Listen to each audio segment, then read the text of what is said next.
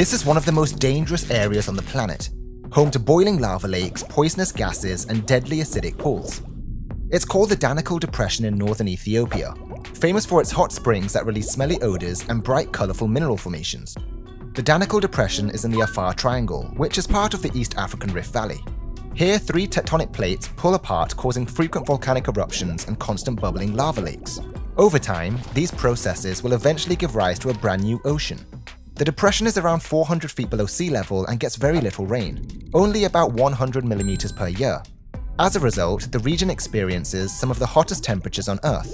Yet despite the intense heat and harsh conditions, some unique organisms do live here. These resilient life forms have evolved to live in these extreme conditions and might even hold the secrets to surviving on other planets. As dangerous as the Danakil Depression is, it serves as a natural laboratory for scientists. It's not very often we get to investigate alien landscapes in our own backyard.